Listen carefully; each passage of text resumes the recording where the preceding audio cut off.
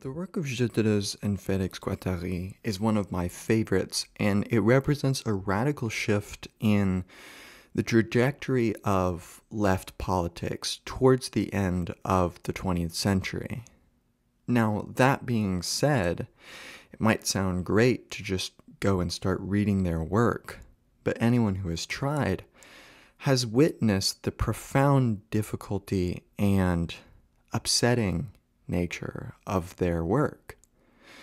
One is told to start with their work Anti Oedipus, but in fact, when you start reading this, you see how profoundly difficult it is to even get through the first two, five, ten, twenty pages.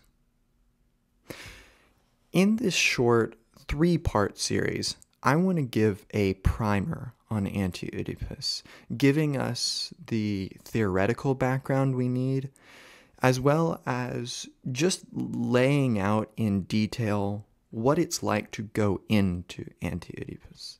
Now, A Thousand Plateaus is typically seen as Deleuze and Guattari's seminal work, their most famous work. It's the phenomenology of spirit of Deleuze and Guattari. And I would largely agree with this. I think that it's a really important work in their corpus, but I don't think it is wise to skip Anti Oedipus. In fact, I think Anti Oedipus gives us the primer, which is presented in a much more academic style than A Thousand Plateaus, which actually makes it quite a bit easier. Anti Oedipus is rather narrowly focused compared to A Thousand Plateaus on psychoanalysis and capitalism and the development of the state, whereas A Thousand Plateaus is going to burgeon off into the rhizome and linguistics and uh, regimes of signs and the apparatus of capture and the birth of the state and, of course, a critique of Freud, just like basically all of Anti Oedipus is. But in this series, I want this first part to be dedicated to Michel Foucault's preface to Anti Oedipus, which is a really great primer not only on this work, but the large scale trajectory and purpose of Deleuze and Guattari's work in general. In the second part, we're going to look at two short poems by Antonin Artaud, who is a famous French playwright, who really set the scene for a lot of the so called 68 philosophers Foucault, Lyotard, uh, Deleuze and Guattari, etc.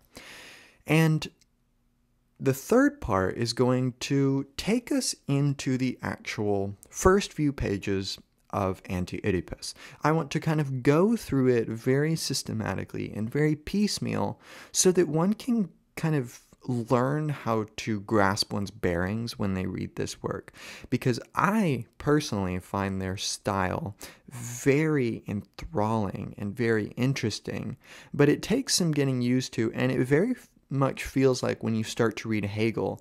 And for me, Hegel was the first time that words started to become very specific. The difference between notion, idea, and concept. Hegel uses all three of those in rather different ways.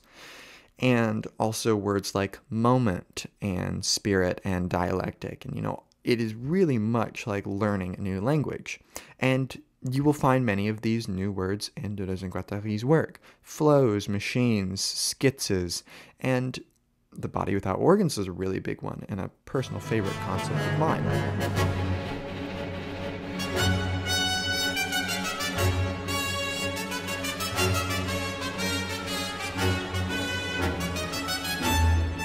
So, in this preface, we're going to see Foucault really contextualize their work and give us some of these broader goals that Deleuze and Guattari are aimed at. So, in the beginning of this preface, Foucault outlines that Marx and Freud were typically seen as the standard thinkers around which to ally oneself in this kind of early post war period, 1945 to 1965, here in Europe.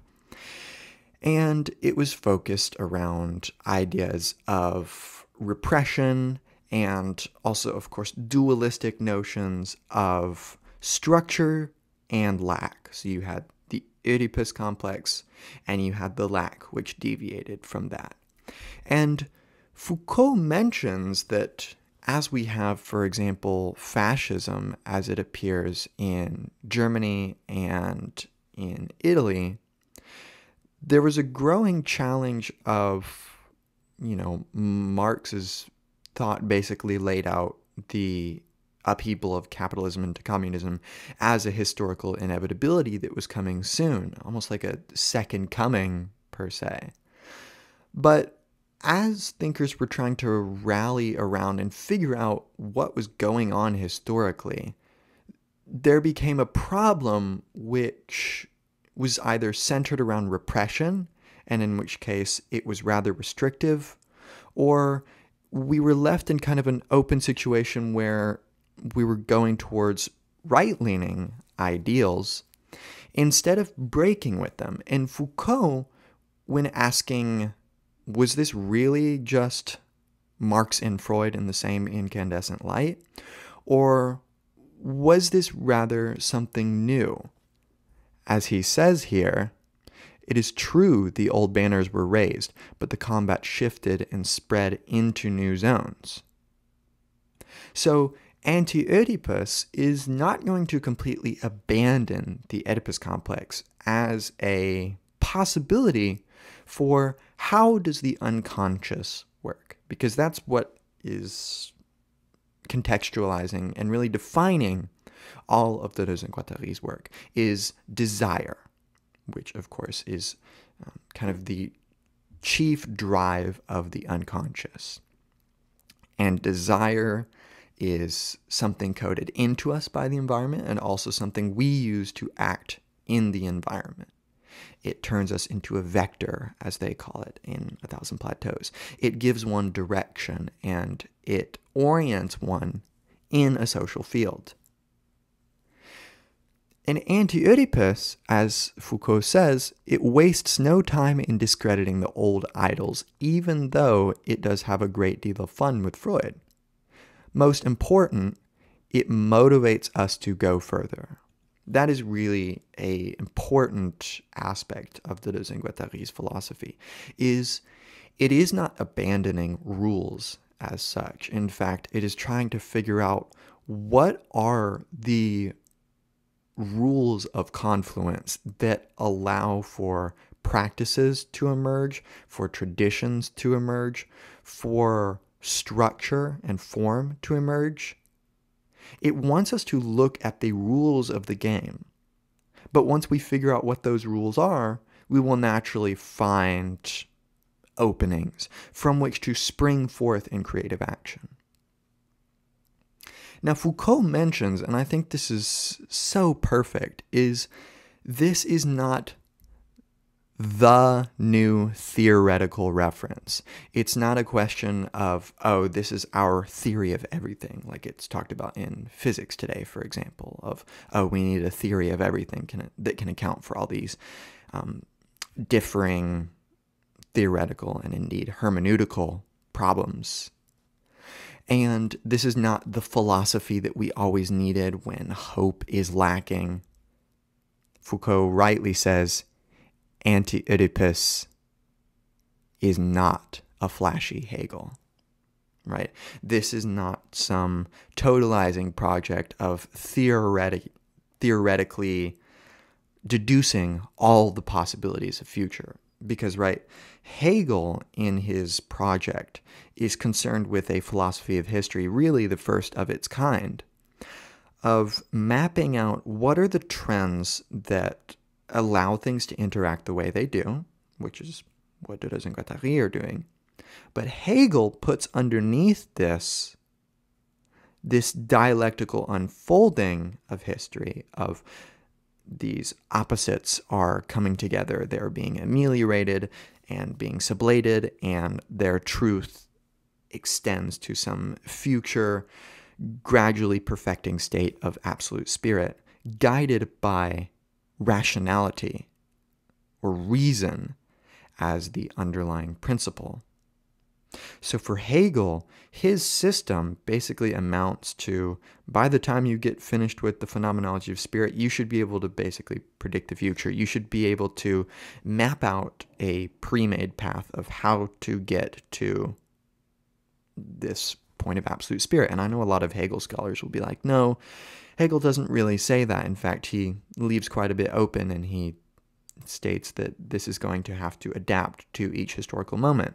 But I think, at least in abstract, Hegel already has a model um, that he has mapped out. But as Foucault says, Anti Oedipus is best described as an art.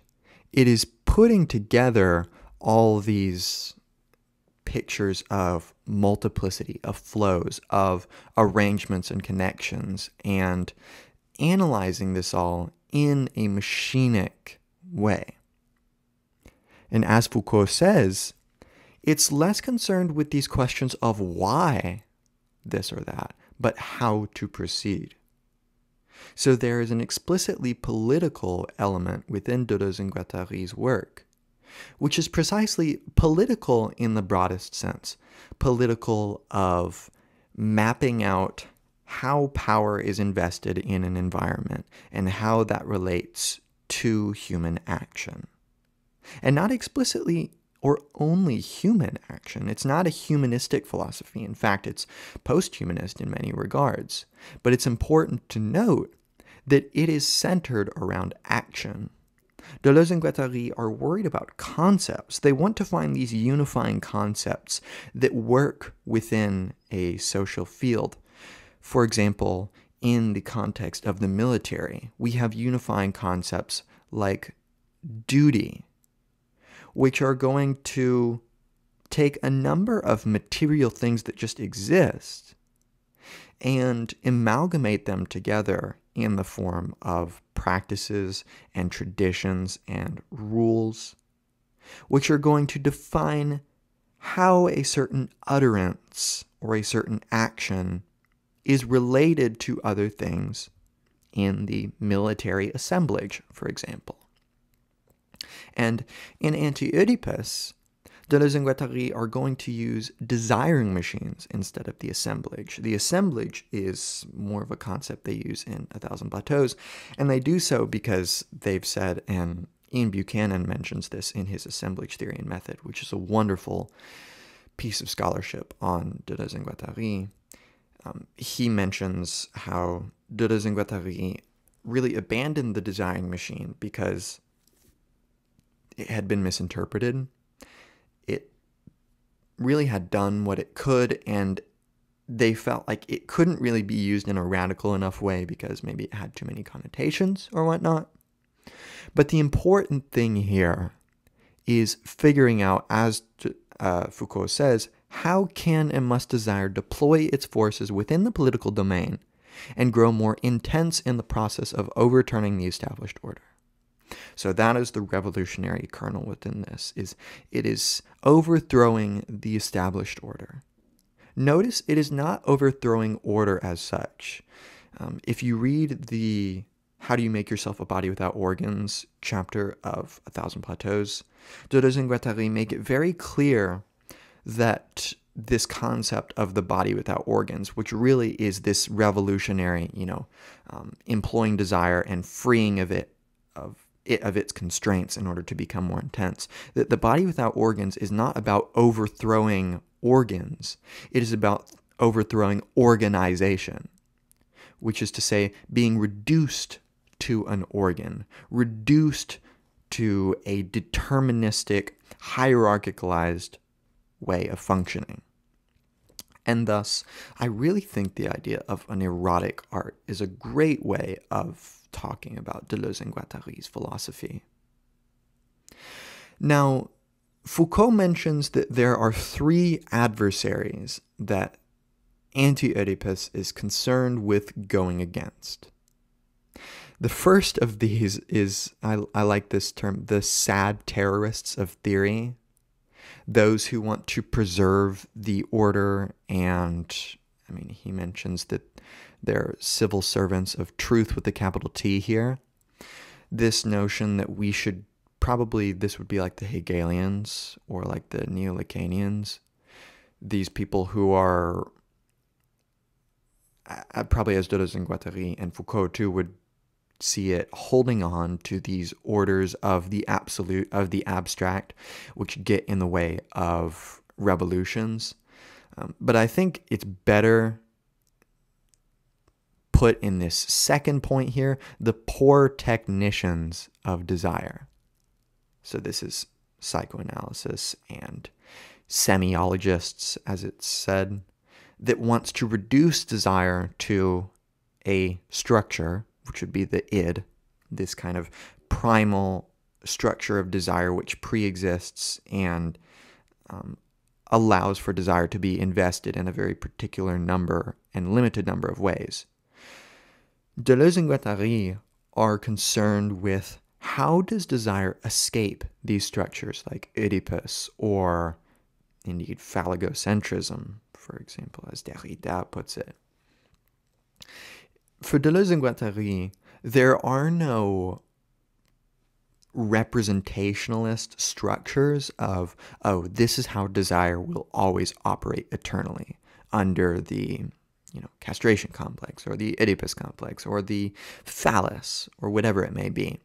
That desire is uniquely productive in a social field. It is what constitutes both the ground upon which actions play out and the trajectory of actions themselves, and thus it is not only productive, but it is not reducible to a structure because it's so particular to an environment.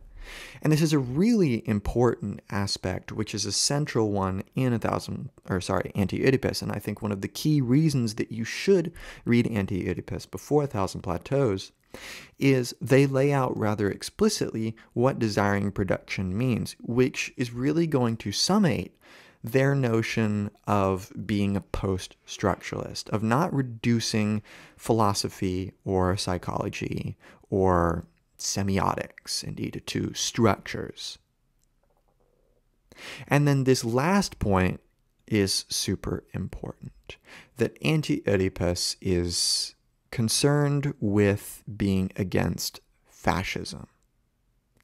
And as he says, not only historical fascism, the fascism of Hitler and Mussolini, which was able to mobilize and use the desire of the masses so effectively, but also the fascism in us all, in our heads and in our everyday behavior. The fascism that causes us to love power, to desire the very thing that dominates and exploits us.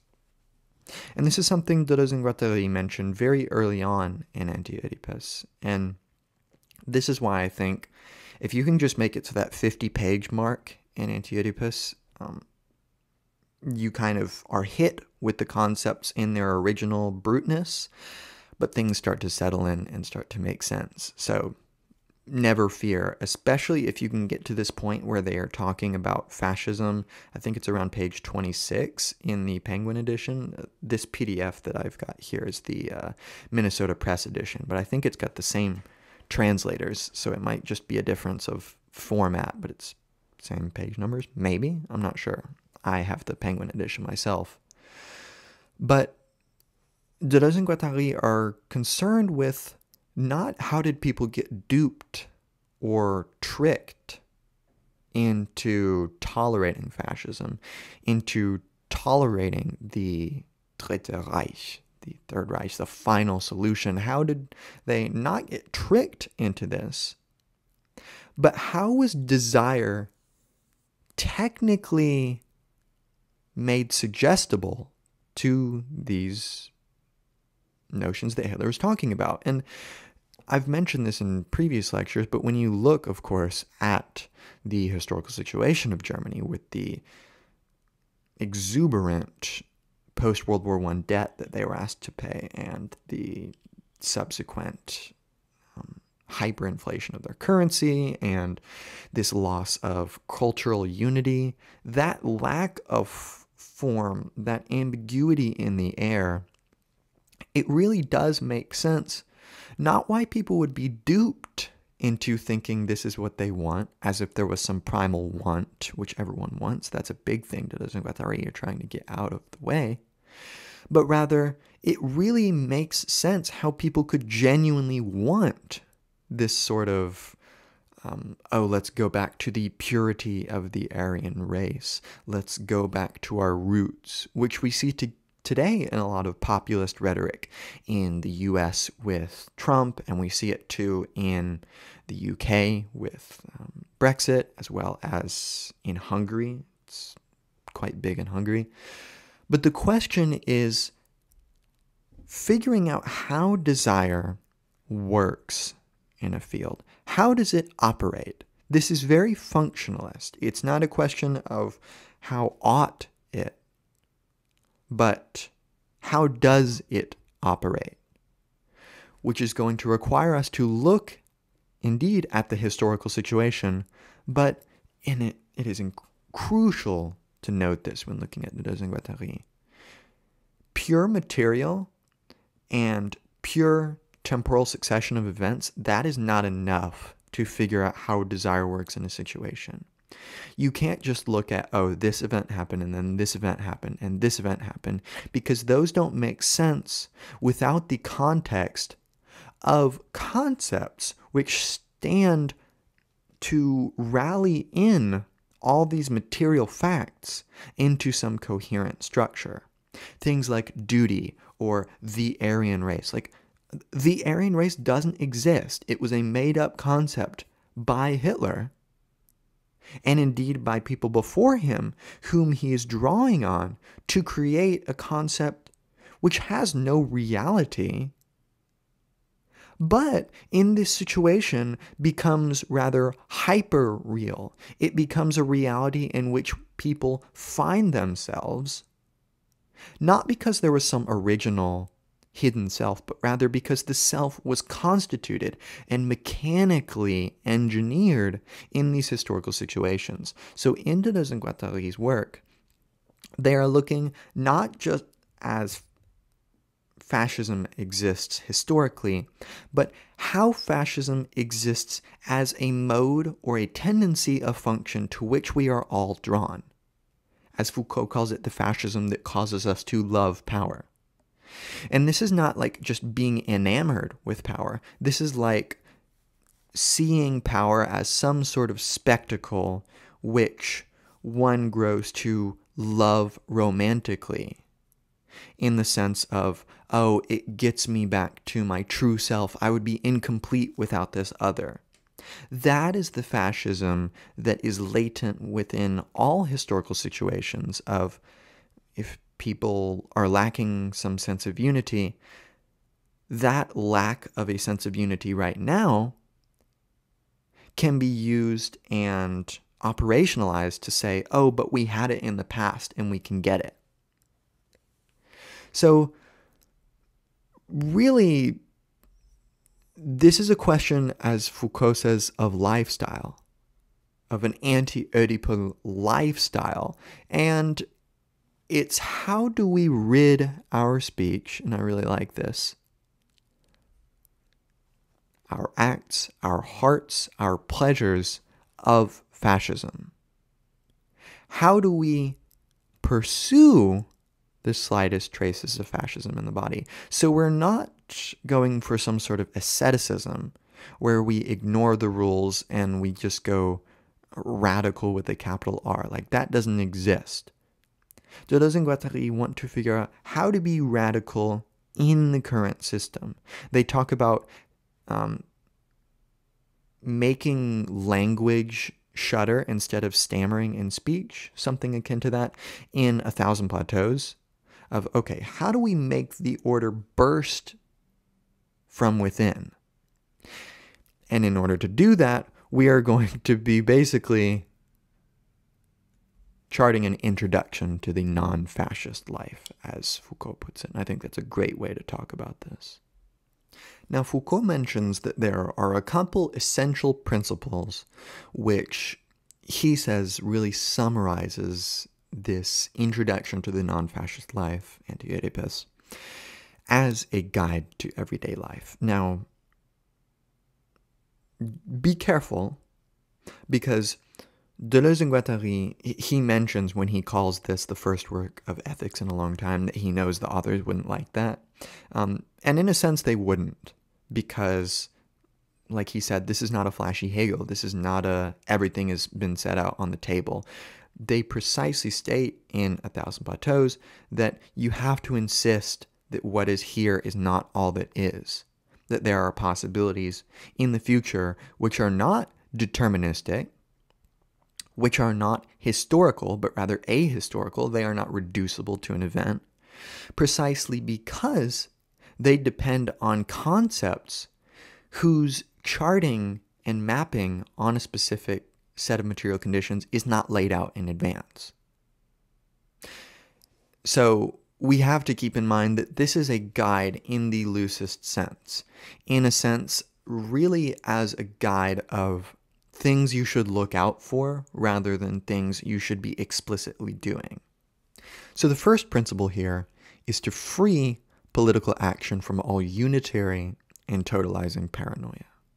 And these totalizing paranoia, these would be the structuralist concepts of Freud's Oedipus complex or Chomsky's grammaticality, as it is critiqued in A Thousand Plateaus, these are the concepts which claim to be all encompassing and pre social. This could be the dialectical unfolding of history, reason as the driving force of history. These are really methods, as Deleuze and Guattari see it, of forestalling genuine creativity they restrict and they organize the political body into you can do this and only this. And then the next is develop action, thought, and desires by proliferation, juxtaposition, and disjunction, and not by subdivision and pyramidal hierarchicization. I would have said hierarchicalization, but whatever. And the point here is, and this is a kind of a little tendency that makes capitalism and schizophrenia dangerously close to each other, as Deleuze and Guattari see it, is that they both essentially operate like a cancer insofar as they proliferate, they go beyond boundaries. They operate by juxtaposing elements that don't quote unquote need to be juxtaposed together. And in a sense, they are both creative because of this. But Deleuze and Guattari will make some sharp distinctions between the mode of functioning of capitalism versus schizophrenia, capitalism being essentially ruled by the despotic signifier, by an abstract notion of how it ought to proliferate, which in fact merely creates a fuzzy aggregate, as Deleuze and Guattari put it in A Thousand Plateaus, as opposed to schizophrenia, which knows how to have this sober con- contact with the elements like the nomad in his territory and knows how to find these traces of fascism in the body and stomp them out. So, what is being concerned with here is a creative process of proliferation that doesn't work by hierarchically expanding, which would be Hegel's work, because it essentially works on, oh, we've got all this difference, which is gradually being sublated up to this point of absolute spirit. Instead of that, we've essentially got a flat ontology, so to speak, to use a, a term of Graham Harman's, where there's no hierarchical inherent difference between, say, humans and animals and rocks and all this stuff. But we've got it all laid out on a plane organized by desire, which is going to set up, if there indeed, and there will be, hierarchies. But they won't be eternal hierarchies, they will basically be circumstantial. And then the next one, which I think is really important, is withdraw allegiance from the old categories of the negative law, limit, castration, lack, lacuna, which Western thought has so long held sacred as a form of power and an access to reality.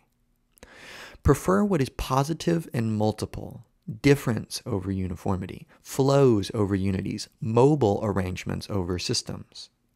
Believe that what is productive is not sedentary, but nomadic.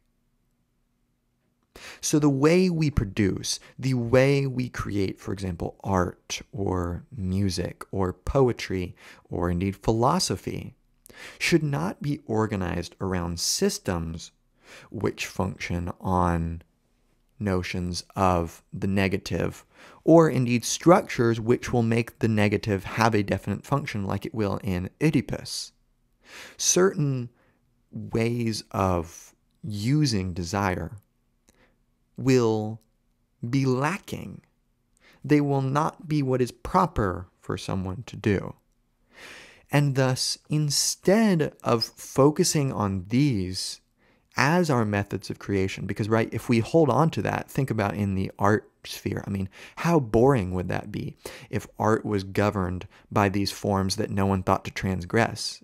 You would just end in a cycle of reproduction, which is that's kind of a point of Baudrillard, is that we've got this system of reproduction that is oriented around these abstract notions, which are in fact not innocent of reality, of value, of meaning, for example, that Deleuze and Guattari too are trying to go against, that there's some original meaning or real desire, as if it was transcendent, as if it was some abstract signifier. Instead, they're trying to opt for a philosophical system which is affirmative, which is going to focus on the place where a system cannot account for all the difference and use that difference, which is to say lines of flight, as they put it in A Thousand Plateaus, as our guiding principles for what are our ways of creating something unique. What is our way of being nomadic, of being sensitive to the territory, letting the territory move us and shift us instead of trying to forestall that movement? And in so doing, create something unique that couldn't occur if we just held ourselves down by some abstract principle. And then I, I really like this one.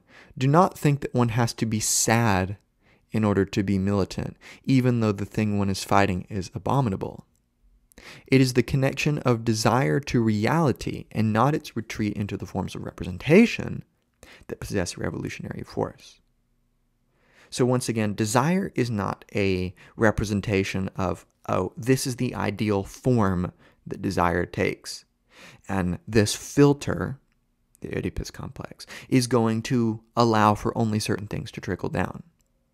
Instead, we're taking a rather joyous, I mean, it really is a fröhliche Wissenschaft, a gay science, as Nietzsche puts it, of the 20th century, in which the revolutionary force is precisely that desire and reality are inextricably linked and are not separated by some transcendent gate which is going to prevent certain functions from being able to be treated as equally as others. And then this is a really important one, which I think um, many theorists should keep in mind today. Do not use thought to ground a political practice in truth, with a capital T there, nor in political action to discredit as mere speculation a line of thought.